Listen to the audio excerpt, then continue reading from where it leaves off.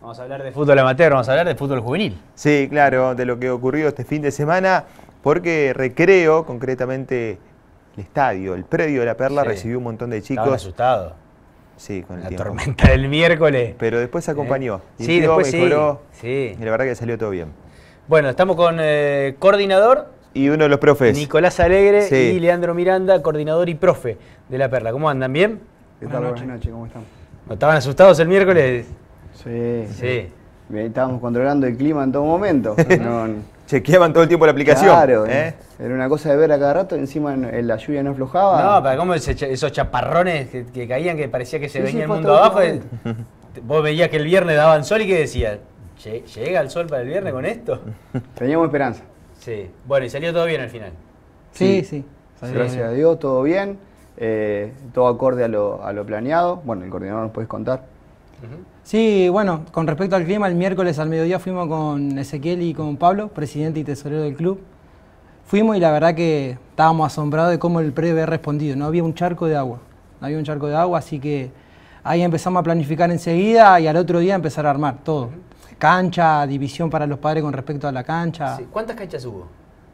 Cinco canchas. O sea, tienen la, la cancha principal y atrás tienen un predio con dos canchas. No, en el predio tenemos cinco canchas. Bueno, Sí. Ah, cinco canchas grandes.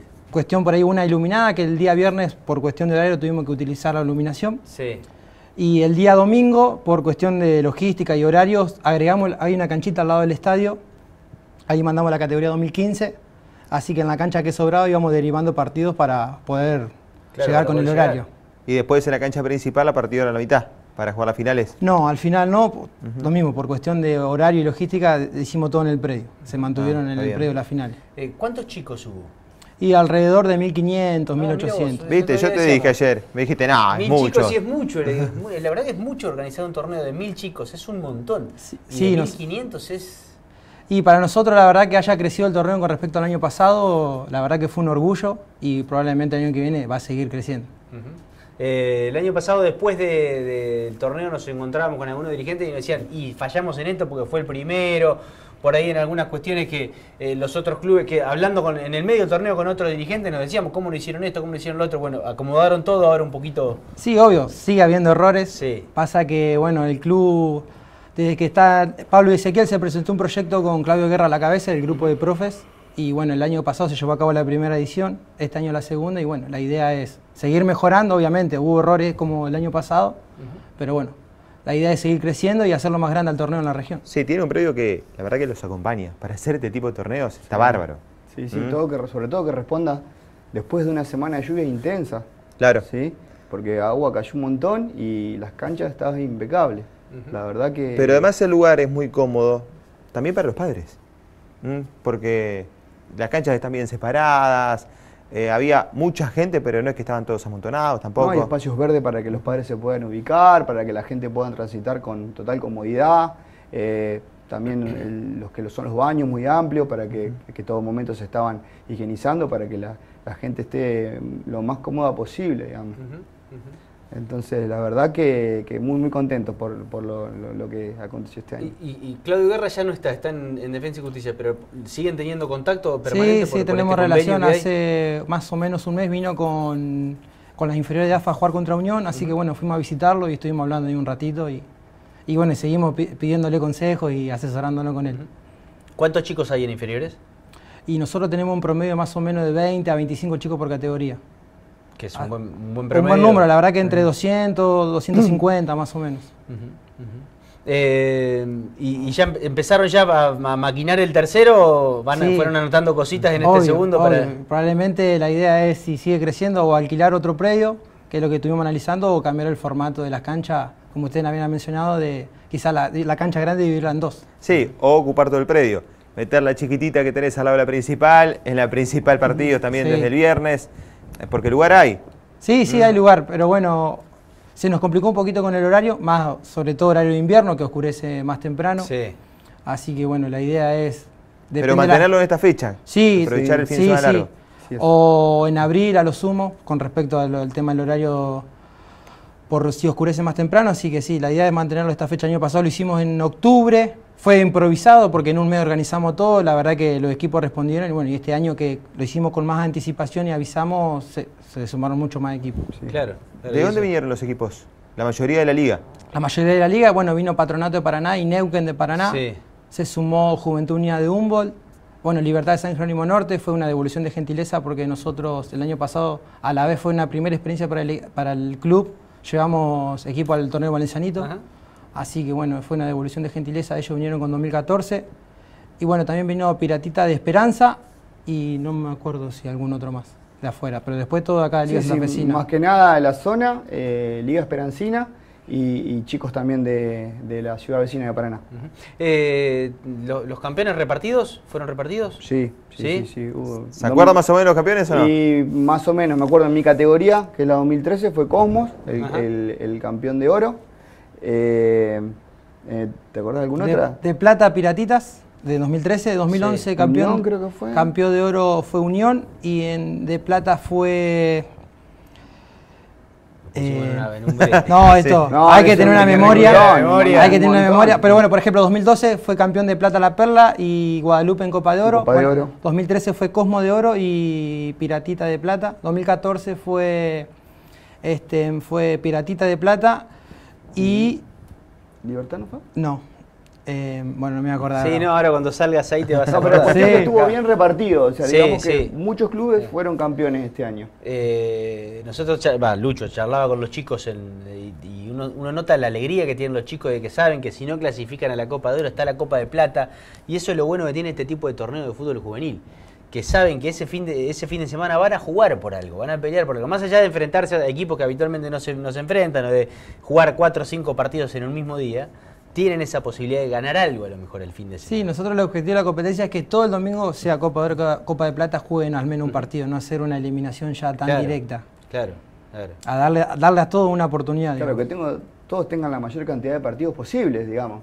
Que, que eso hace también el crecimiento de, de ellos, Sí. la diversión y bueno, la evolución, el roce de los chicos. Cuanto más partidos, eh, es mucho mejor.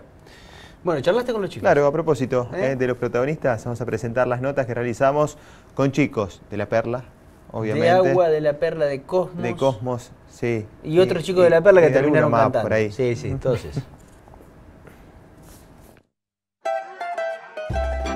Desde hace 40 años compartimos la mesa con nuestra gran familia de consumidores.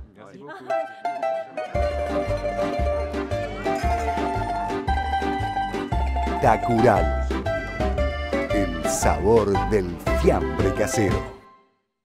Lizondo Bautista, ¿De qué jugás, Lichi? eh, de enganche, sin, eh, enganche suelto por la izquierda. ¿Hiciste algún gol en el torneo o no? Sí. ¿Cómo salieron? Eh, ahora con River Play empatamos 0 a 0 y ganamos 3 a 0 con San Cristóbal. Mataron con River, buen resultado. Sí, y contento porque fue, jugamos bien, nada más no se pudo el resultado, estaba peleado el partido y, y contento por el equipo, si ganamos vamos primero en la tabla. ¿Cómo la están pasando el torneo? Bien, eh, es lindo la, la sensación porque jugaban de equipos diferentes y todo eso. ¿Y todos acá en La Perla? Sí, obviamente la perla. ¿Lo recibieron bien los otros chicos? Sí, alguna con puteada, pero... ¿Cómo es tu nombre? Benjamín Tobaldo.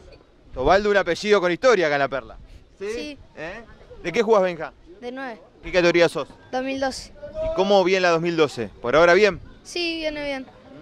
Ganamos un partido y empatamos uno. Ahora vamos a jugar contra Cosmo. ¿Quieren salir campeones en el torneo de La Perla? Obvio. ¿Eh? ¿Está difícil o más o menos? Ahí nomás. Y, más o menos. ¿Cuál fue el partido que más costó? El de River. Bueno, lo de River. A la par. A la par. Bueno, díganme nombre, de qué juegan y algún referente que tengan en su puesto. ¿A quién miran habitualmente? Ah, Fauto. ¿Qué Fausto? El 10. ¿Ah, sí? ¿Cómo es tu nombre? Bastián. ¿De qué jugás, Bastián? De 3. De tres, lateral por izquierda. Sí. ¿Sí? ¿Vos? Fernando, el juego de 2 y lo marco al 9.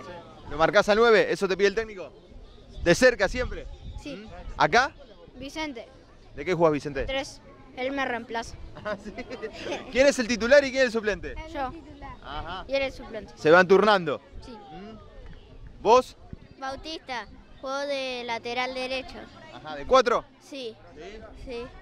¿Le mandás al ataque o marcar? ¿Qué te pide el técnico? Y las dos cosas. ¿Y acá? Giovanni. ¿De qué juega Giovanni?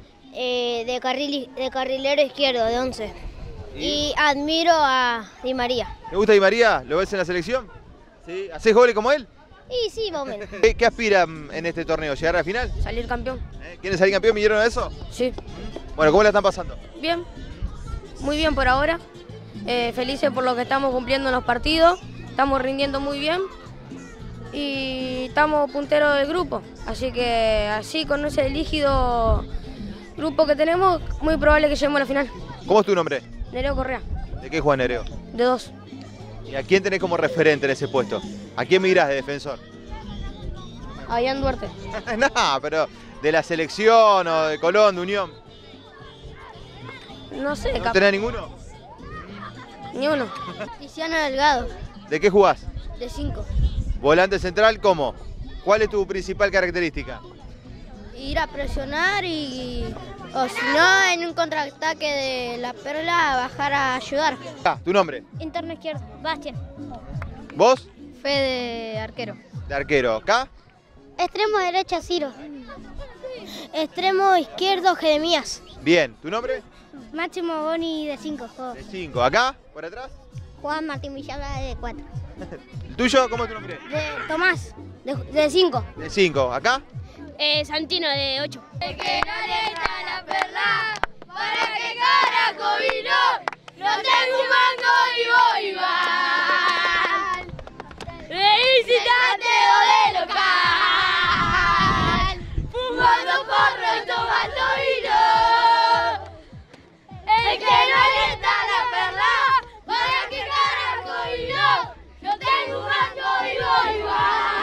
Perfecto, gracias chicos. Vayan a jugar. Dale. Los chicos después de la canción copian las canciones de cancha. Claro, no tiene nada que ver los profes con la letra de la claro, canción. Vamos a canciones de aclararlo. Cancha, van, escuchan, escuchan, escuchan y cantan lo Sí, mismo. Sí, repiten. ¿Qué va a ser? Mm, ¿Qué va a Pero son muy sinceros. Son sinceros. En son eso no hay que decir A mí nada. me gustó lo- los dos que dijeron, el, tu ídolo, tu- el, el referente este que está acá. al lado Compañero, mío, le gusta el conmigo. compañero, que lleva la sí, 10. Bueno, tenía uno que... Yo pensé que me iba a decir un jugador de primera, de la Pero vos selección. no tenía cuando jugaba uno que decía que bien que juega. Que... Sí, pero no sé si era mi referente. Bueno, qué sé yo, los chicos sí, los chicos son más sinceros. Bueno, eh, próximo torneo entonces el año que viene, en abril, tercera edición. ¿Tiene nombre el torneo? Azulgrana. Azulgrana. Torneo Azulgrana. Azulgrana. Eh, bueno, ojalá que tengan, que sigan con, con- con esta cuestión de ir sumando cada vez más equipos, más jugadores. La verdad que hacer un torneo de 1500, 1800 chicos es, para lo que es la zona, para lo que es la región, muy importante. Sí, sí. Mm. Estamos muy contentos. Bueno, gracias por haber venido. ¿eh? No, gracias Saludos a la gente allá en Recreo.